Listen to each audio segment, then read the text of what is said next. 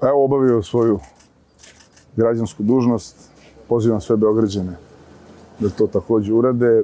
Ne glasaju po sobstvenoj savesti kao i uvek i za one za koje veruju da će učiniti da njihov grad sutra bude bolji i uspešniji, napredniji. Sve ono što u stvari žele sami sebi. Ja duboko verujem da će nakon ovih izbora da se konačno završi stanje u kojem se Beograd nalazi proteklih 8 meseci. Stanje koje Beograd ne poznaje u svojoj istoriji.